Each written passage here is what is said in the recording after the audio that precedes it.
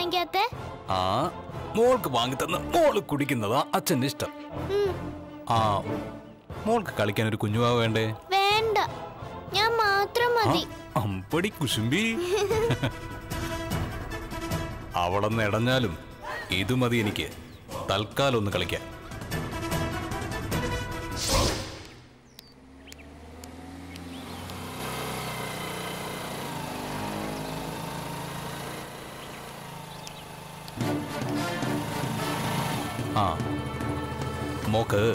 അച്ഛൻ കുറച്ച് ടോയ്സ് വാങ്ങി തരട്ടെ?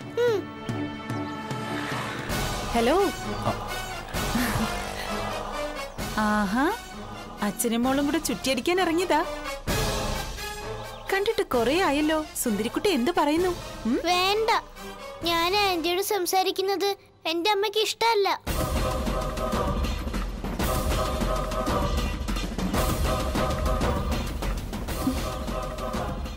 കേട്ടല്ലോ മോൾ പറഞ്ഞത്. പിന്നെ എന്തിനാ നിങ്ങൾ അടുത്ത് വരുന്നത്? മുതിർന്നവർ തമ്മിലുള്ള വാശിയും വൈരാഗ്യവും ഒക്കെ കുട്ടികളിലേക്ക് പകർത്തണോ? അതൊന്നും എനിക്കറിയില്ല. എനിക്ക് വലുത് എന്റെ ഭാര്യയും കുഞ്ഞും കുടുംബമാണ് അതുകൊണ്ട് എന്റെ രോഹിണി എന്തു പറയുന്നു അത് ഞാൻ കേൾക്കൂ. അനുസരിക്കൂ. നിങ്ങളുടെ ഭാര്യയ്ക്ക് എന്തൊക്കെയോ മാനസിക പ്രശ്നങ്ങളുണ്ട്. നിങ്ങൾക്ക് എന്തൊക്കെ തകരാറുണ്ടെന്നാ രോഹിണി പറയുന്നത്? അത് ശരിയാ. കേട്ടോ? മോളുടെ അമ്മ വീട്ടിൽ പറയുന്ന കാര്യങ്ങളാ മോളിപ്പോ സമ്മതിച്ചത്. ഹും, ആയിക്കോട്ടെ. രോഹിണി ടീച്ചർ എന്നെ തെറ്റിദ്ധരിച്ചിരിക്കുക ആ, മോളെ മോൾ പോയി ടോയ്സ് നോക്ക്. എന്നിട്ട് ഇഷ്ടപ്പെട്ടതെടുത്തു ചെല്ല.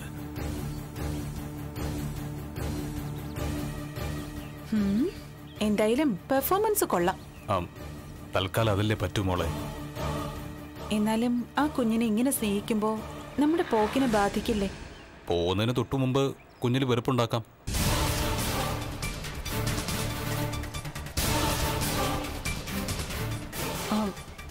രോഹിണി ടീച്ചറിനെ അവഗണിച്ചേ പറ്റൂ. അത് സൂര്യേട്ടന് എന്നോടുള്ള സ്നേഹ കൂടുതൽ കൊണ്ടാ. എന്നാ കുഞ്ഞുങ്ങളോട് ക്രൂരത കാട്ടിയ അത് നമ്മുടെ ദാമ്പത്യത്തെ പോലും ബാധിക്കും. നമ്മുടെ കുഞ്ഞിന് ആപത്തുണ്ടായതും കുഞ്ഞിനെ എനിക്ക് നഷ്ടപ്പെട്ടതും ഒക്കെ അതുകൊണ്ടൊക്കെ തന്നെയാ. പിന്നെ ഞാൻ എന്ത് വേണം? ഒന്നിച്ചു പോകുമ്പോൾ മോളെ കൂടെ കൂട്ടണോ? എല്ലാം കൂടെ പറയരുത്. മോളിപ്പോ എനിക്കൊപ്പം വരാൻ തയ്യാറാ. വേണേ കൊണ്ടുപോവാം.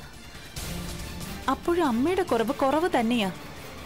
അതെപ്പോഴെങ്കിലും മോൾക്ക് ഫീൽ ചെയ്യും.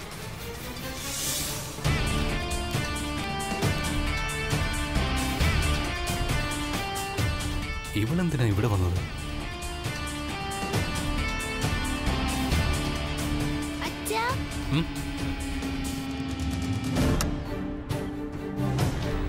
ആ.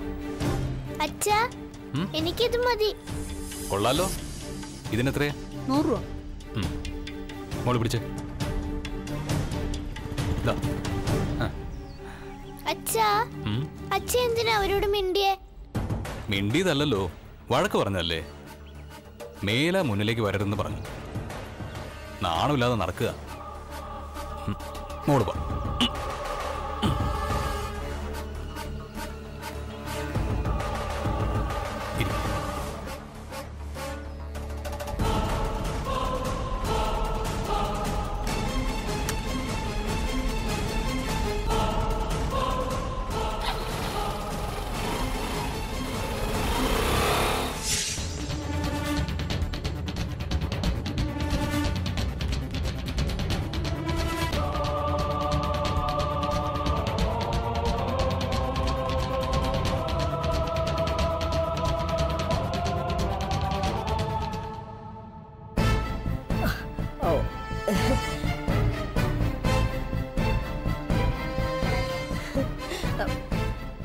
ഇപ്പൊ ഏത് നേരവും അച്ഛനും മോളും തമ്മിൽ കറക്കമാണല്ലോ മോളെ?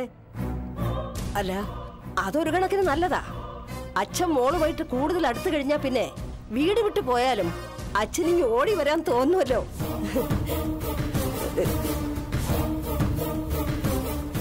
മോക്ക് ശരത് സാറിനോട് എന്തോ ഒരു ഏനക്കേടുണ്ടല്ലോ. എല്ലാ കാര്യവും എനിക്ക് ശാന്തേച്ചിയോട് വെളിപ്പെടുത്താൻ പറ്റൂ.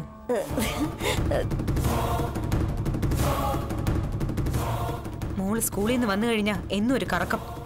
മോളെ സ്വാധീനിക്കുക. അതേതാണ്ട് ഏതാണ്ട് ഫലിക്കുന്നുമുണ്ട്. അച്ഛൻ മക്കളെ സ്നേഹിക്കുന്നത് സാധാരണ അമ്മമാർക്ക് സന്തോഷമാണ്. ഇവിടെ മാത്രം എല്ലാം മറിച്ചാ.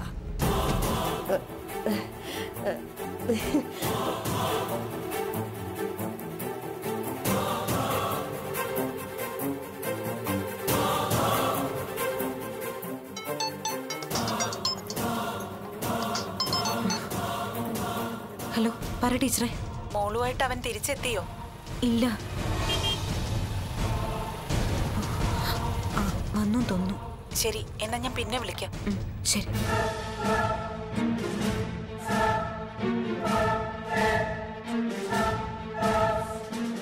ആ ഇന്നും പറയാതെ പോയി. മോൾ നിർബന്ധിച്ചിട്ടാ പോയത്.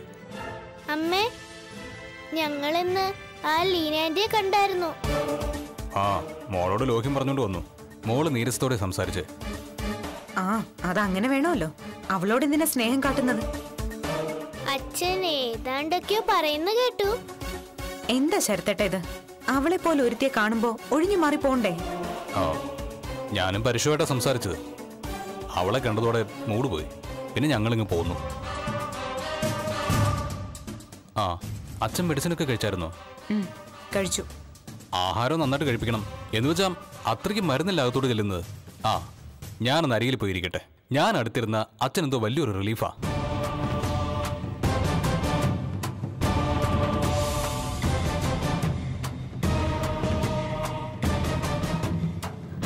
അച്ഛൻ മോൾക്ക് വേണ്ടി ഒരുപാട് കാശ് ചെലവാക്കിയോ? ആ അച്ഛൻ എനിക്ക് ഒരുപാട് സാധനങ്ങൾ വാങ്ങിച്ചു തന്നു. ഇനി അച്ഛനെ പെട്ടെന്നൊന്നും വിടണ്ട അമ്മ. എനിക്ക് അച്ഛനെ കാണാതിരിക്കാൻ പറ്റത്തില്ല.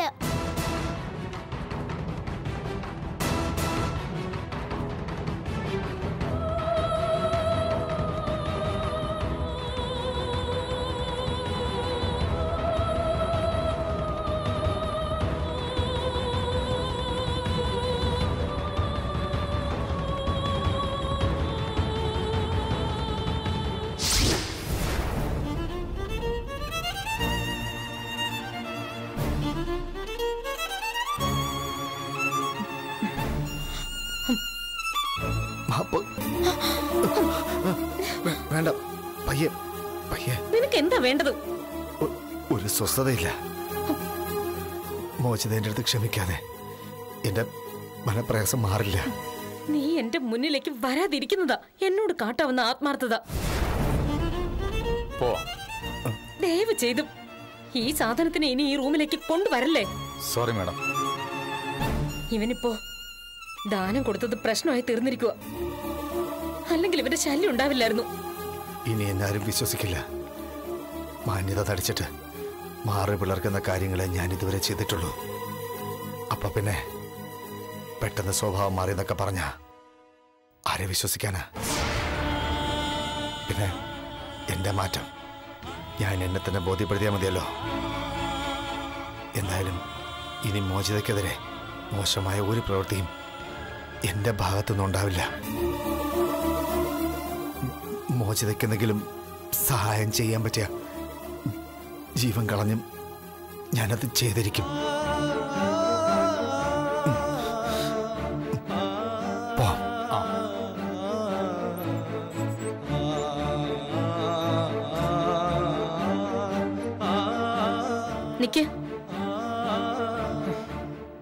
എനിക്ക് നിന്റെ സഹായമൊന്നും വേണ്ട.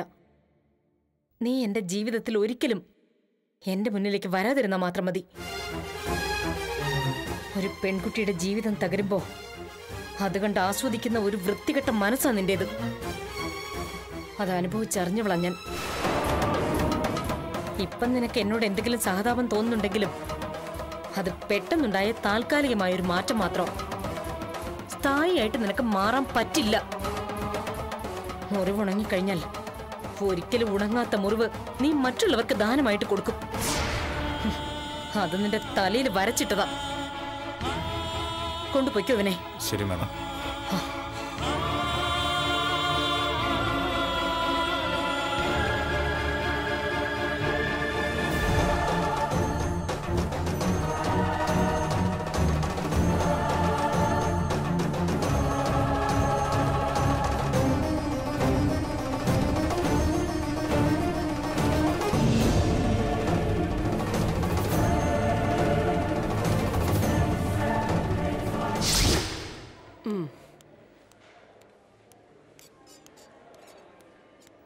അയ്യോ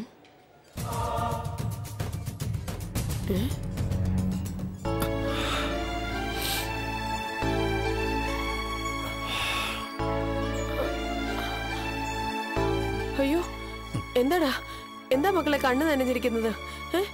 വേദനയുണ്ടോടാ? ഉണ്ട്. മുറിവിനല്ല മനസ്സിനകത്ത്. എന്ന് വെച്ചാ സ്വന്തം അച്ഛനും അളിയനും അല്ലേ ഈ പണി ചെയ്തത്? അപ്പൊ പിന്നെ കാണാതിരിക്കോ? നിങ്ങളൊന്ന് മിണ്ടായിരിക്കേ. എനിക്ക് കരൾ തന്ന് സഹായിച്ചത് ആരാണെന്നറിയാമോ? ആരായാലും അവർക്ക് നല്ലതേ വരൂ. ആ എനിക്ക് നല്ലത് വരേണ്ടത്. ഒരിക്കൽ നിങ്ങളുടെ മരുമകളായി വന്ന ഒരു പെൺകുട്ടിക്കാ. ആ വയറ്റിലും മുഴയായിട്ടൊന്നുമല്ല മോചിതയുടെ കഴിയുന്നത്. എനിക്ക് എനിക്ക് കരൾ ദാനമായി തന്നിട്ടാ.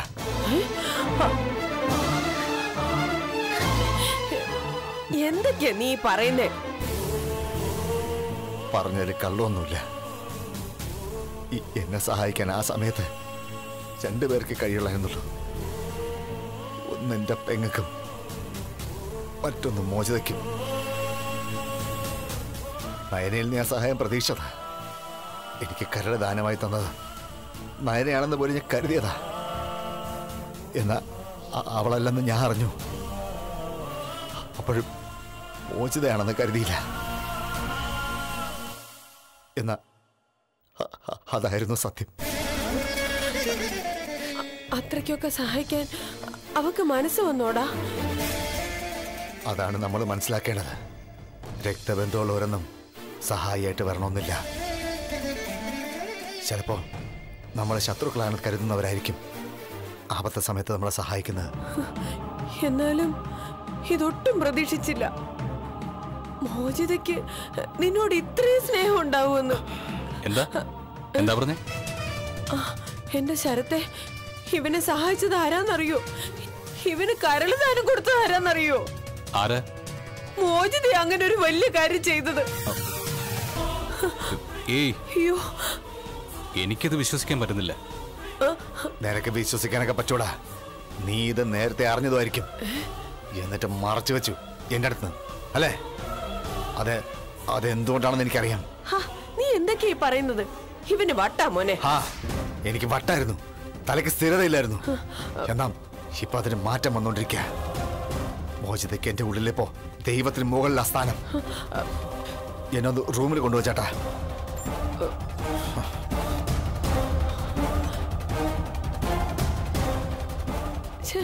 ഇവൻ എന്തൊക്കെയാ പറയുന്നേ? നമ്മൾ സ്വപ്നത്തിൽ പോലും വിചാരിച്ചതാണോ ഇങ്ങനൊരു കാര്യം? മോനെ ഞാനേ ആ മോളെ പോയി ഒന്ന് കാണട്ടെ. ഈശ്വര ഞാൻ കൊച്ചിനെ ഒരുപാട് ശപിക്കുകയും ചെയ്തു. കഷ്ടം.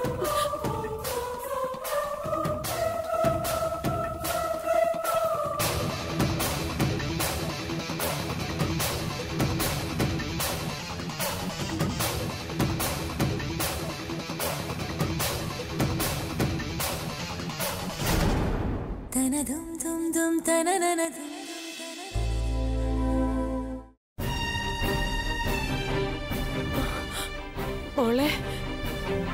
എന്തിനാ വന്നത്?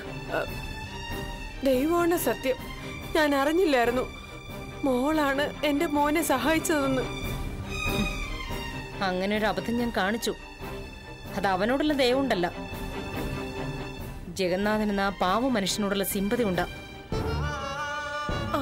കടപ്പാടുണ്ടായാലും മോക്ക് അങ്ങനെ ചെയ്യാൻ തോന്നിയല്ലോ. അതിന് മോളെ ദൈവം തുണയ്ക്കും. ഒരിക്കലും അവനെ സഹായിച്ചതിന്റെ പേരിൽ ദൈവം എന്നെ തുണയ്ക്കില്ല. അത് പലരും പറഞ്ഞു കഴിഞ്ഞു. ദൈവം പോലും എന്നെ അഹങ്കാരി എന്ന് മുദ്ര കുത്തും ഇത് ചെയ്തതിന്റെ പേരിൽ. അയ്യോ അങ്ങനെയൊന്നും പറയല്ലേ മോളെ? മോക്ക് പുണ്യം കിട്ടും. പാപം ചെയ്തവനെ സഹായിച്ച ഏത് ദൈവങ്ങളാ പുണ്യം തരുന്നേ? പുണ്യത്തിന് വേണ്ടി അല്ലാന്ന് ഞാൻ പറഞ്ഞല്ലോ. നിന്റെ മരുമോളായി ഞാൻ വന്നിട്ട് കേവലം ഒരു വർഷം മാത്രമേ ആയിട്ടുള്ളൂ. അതിനിടയ്ക്ക് ഞാൻ മനസ്സിലാക്കി അസുരഗണങ്ങൾക്കിടയിൽ നല്ല മനസ്സുള്ള ഒരു മനുഷ്യനുണ്ടെന്നും. അതുകൊണ്ട് തന്നെ ഞാൻ അദ്ദേഹത്തെ കൂടെ കൂട്ടി. ആ മനുഷ്യനെ ഓർത്ത് കാട്ടിയ അനുകമ്പ. ഇതിനെ നീ അങ്ങനെ കണ്ടാ മതി. കളഞ്ഞു മോളെ. എന്റെ മോളെന്ന് പറയുന്ന ശൂർപ്പണകെ ഞാൻ കളഞ്ഞു. ഇതുപോലൊരു നായെ ശത്രുക്കൾക്ക് പോലും കൊടുക്കരുത്. അത് പറയാൻ നിനക്ക് എന്താടി അർഹത? നിന്റെ വയറ്റി പിറന്ന മോൾ പിന്നെ ഏത് നിലയിൽ വളർന്നായിരുന്നു? ഏത് സ്വഭാവത്തിന് അടിമയാവണമായിരുന്നു? നിന്നെ കൊത്തിവെച്ച മോൾ അതാ നയന. ശരിക്കു പറഞ്ഞ മക്കൾക്ക് ശാപം നീയായിരുന്നു. ചാകേണ്ടത് നീയായിരുന്നു. ഒരിക്കൽ അമ്മായിയമ്മയായിട്ടിരുന്നതല്ലേ? ഇത്തിരൂടെ മാന്യമായിട്ട് സംസാരിച്ചൂടെ മോളെ?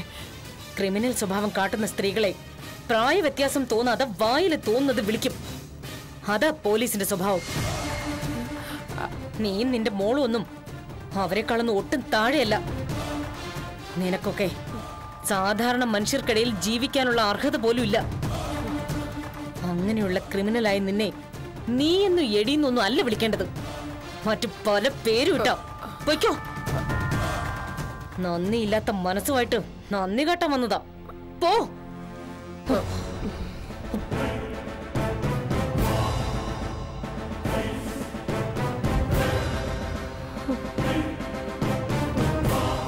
എന്റെ മോൻ രക്ഷപ്പെട്ടിട്ട് ഇവൾ ചത്തു പോണേ.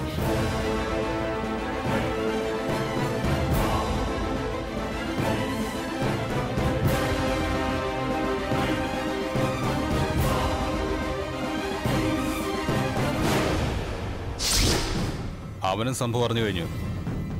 മോചിതയാണ് കരൾ ദാനം ചെയ്തതെന്ന്. അതിന്റെ ഒരു സിമ്പതി എന്തായാലും ഇനി അവൻ അവളോട് കാണിക്കും.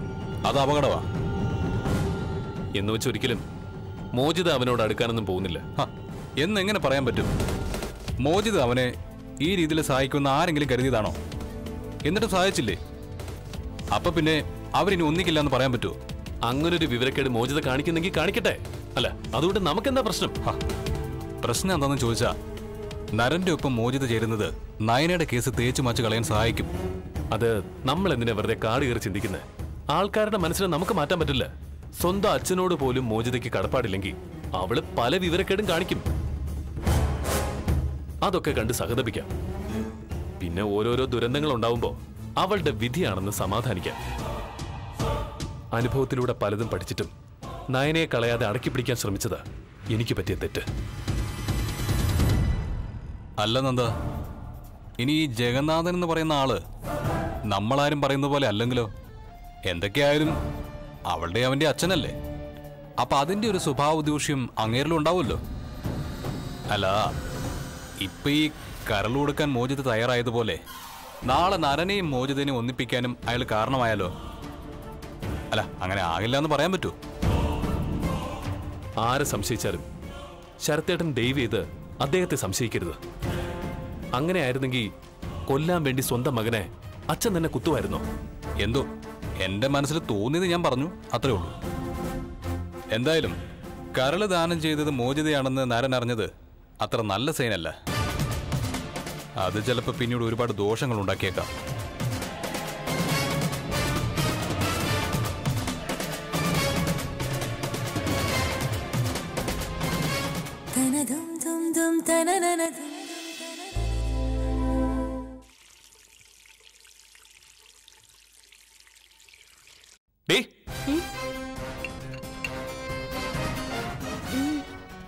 ആങ്ങളയുടെ ജീവൻ നിലനിൽക്കുമെന്നാ തോന്നുന്നത്.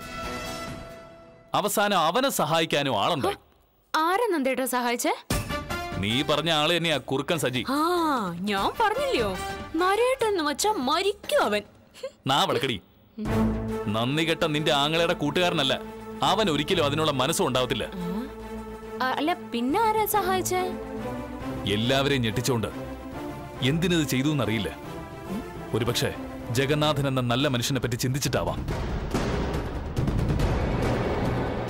മോചിതയാ. നിന്റെ ആങ്ങളയോട് കാരുണ്യം കാട്ടി.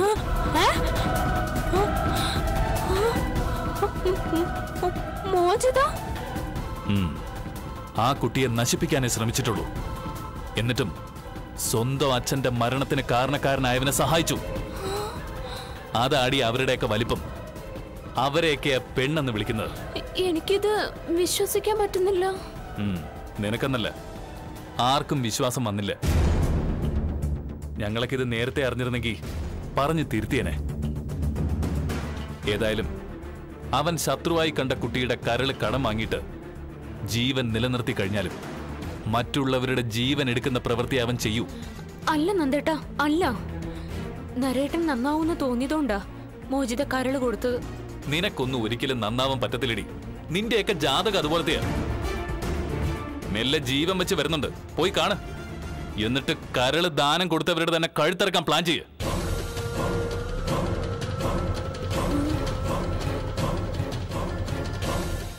എന്നാലും എന്റെ കരൾ പോയതുമില്ല. നരേട്ടൻ രക്ഷപ്പെടുകയും ചെയ്തു. ഇനി കരൾ കൊടുത്തവളെങ്ങാനും ചാവോ എങ്കി രക്ഷപ്പെട്ടു. ഈശ്വര ഭഗവാനെ അവൾ ചാവണേ. പ്ലീസ്